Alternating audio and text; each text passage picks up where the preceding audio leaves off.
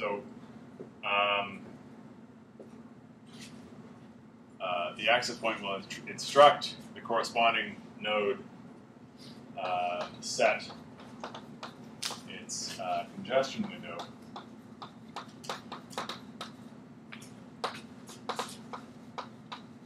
to zero. So if I tell you you could you have to wait uh, or you um, you can send zero packets before acknowledgement, then the logical interpretation of that is that you can't send packets at all. So once uh, a window size is set to zero, um, there's a special name for that. A TCP connection with a window size of zero is said to be in persistent mode.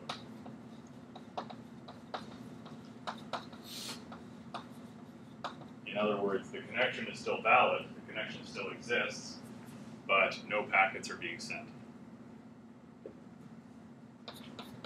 The TCP connection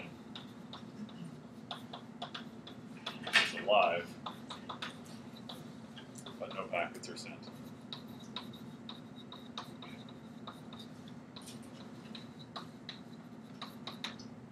So the resolution is once the access point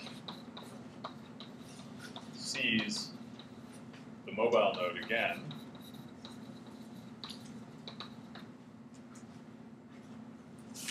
and it could be in my uh, office example, it could be a new access point, an entirely new access point. So either the old AP or a new one.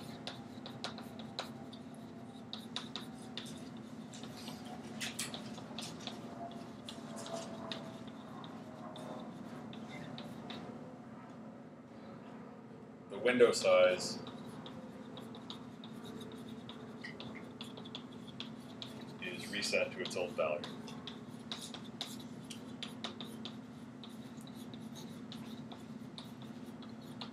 How does a new AP learn about the TCP connection? Um, Good question. So, I mean, presumably all of the nodes will agree that they're using mobile TCP. So, uh, as soon as um, as soon as the mobile node enters the domain of the new access point, um, there's got to be some kind of control message that's exchanged saying I, I have a, I have a I have a connection, or maybe uh, maybe the uh, I mean the uh, the mobile uh, might start sending acknowledgement packets or something, and the access point learn about the TCP connection. Question. Um, uh, when it when it sends the control message, when the AP sends the message to set the window size to zero and set it back again, is it masquerading as the mobile node to to the corresponding node?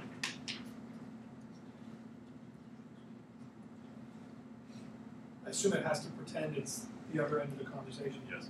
Um, so that's a good question. Uh, what I don't know is whether intermediate nodes can also uh, intermediate nodes in a link can also send a control message. So um, it could be.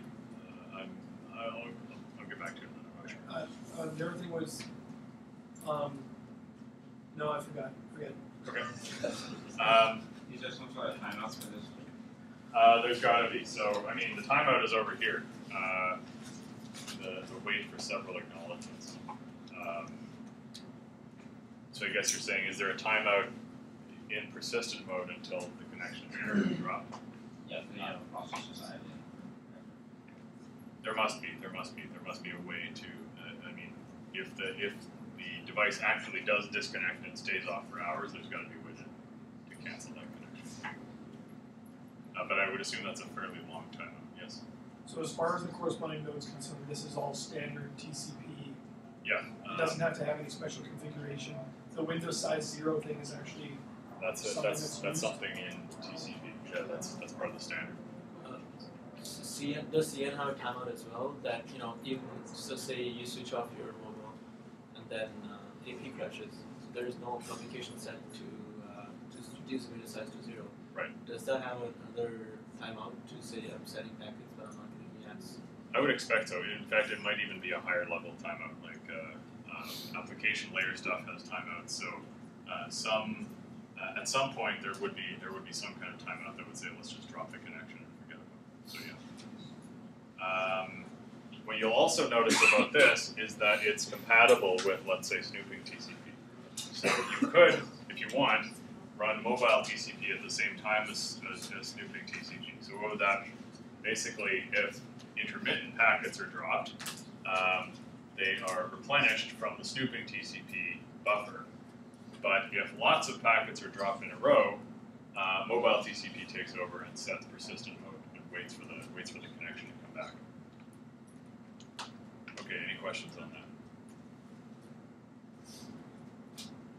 So broadly speaking, we've come to the end of our discussion of mobile um, transport layer. Uh, I just want to take a couple of seconds to uh, say what's coming next. So we've we've um, we've completed our walk up the network stack. So we're not going any higher than the transport layer because nothing significant changes when you go to wireless above the transport layer. Um, the rest of uh, for the remaining approximately month that we have together, um, we're going to do mostly applications. So, um, in, in particular, if you've been following the course schedule, you'll notice that we're about a week ahead of schedule, so that's great. That basically means we'll, we'll I'll probably take that week and add it to um, probably add it to uh, uh, wire, uh, sensor and ad hoc networks. So we'll, we'll, we'll do a little bit of extra talking about sensor and ad hoc networks. Um, so, so yeah, the, basically everything we're going to talk about from now on is applications, with one exception. Next time, um, we're going to do. We're just going to finish off. We're going to complete our discussion here by adding a little bit of analysis, much like we did. We added a little bit of analysis to uh, to mobile IP. Any other questions? Okay, See you on Tuesday.